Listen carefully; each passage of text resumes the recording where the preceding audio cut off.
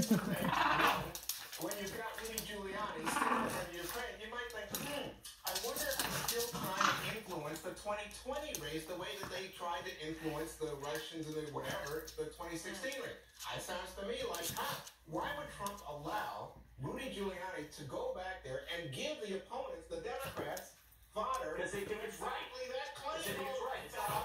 They're not hiding anything. They're not hiding anything. Because they're students. Okay. The second is this. We have a poll that says half the nation, half the nation still favors not only impeaching, but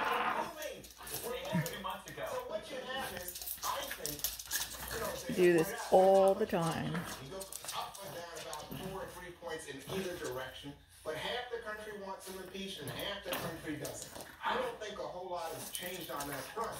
But I do think this, that we can agree, that I think everybody at this table can agree. Fox poll is a good poll. The president doesn't like it, but it's a very good poll. I don't trust any poll. I think the people who are freaking out there about him are the people who are, hmm, is his name Donald Trump making fun of Nancy Pelosi's teeth?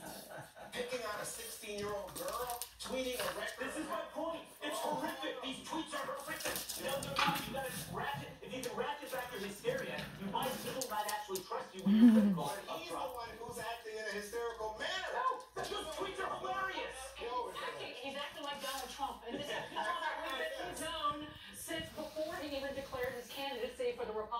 Republican. You know when somebody gets loud, you know what that means? They're desperate. They sound desperate and they look desperate. To Nadler and Schiff's point, they don't have a constitutional right to try and do a preemptive impeachment to stop an act. Non-stop play constantly. the Wall Street Journal They're very competitive. pointed out.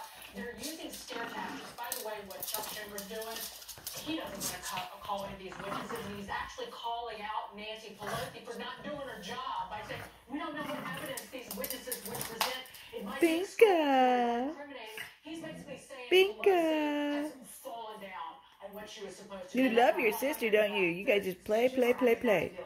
And scare tactics, if they're going to use scare tactics, you know what? Girl rap. No matter what, you guys have to always want what the other one has. Yes.